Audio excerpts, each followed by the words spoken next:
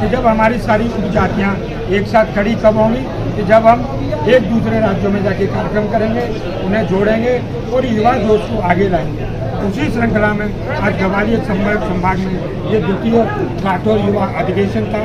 हमारे युवा अधिवेशन का मुख्य उद्देश्य है कि राठौर समाज राजनीतिक भागीदारी के लिए वंचित है। दूसरा, राठौर समाज का पूरे देश भर में शोषण होता है।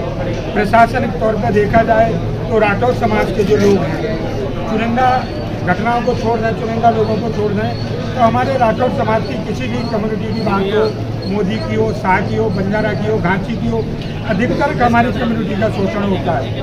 क्यों? कि हम बिखरे हुए हैं। इसलिए हमारे संगठन का संकल्प है कि राष्ट्रव्यापी मुहिम चलाकर, और जो मुहिम चलेगी, वो एक साल में पूरी होगी, और हमारा लक्ष्य है कि राठौर समाज को शोषण मुक्ति किया जाए, और राठौर समाज की राजनीतिक भागीदारी के लिए।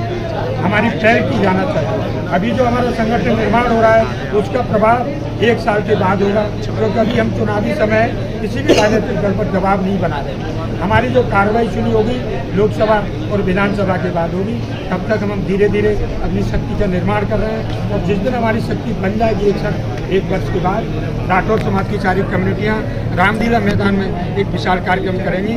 वो भी हमारा अखिल भारतीय राठौर युवा अधिवेशन होगा। हमारी सरकार से किसी भी कार्यक्रम में कोई मांग नहीं है।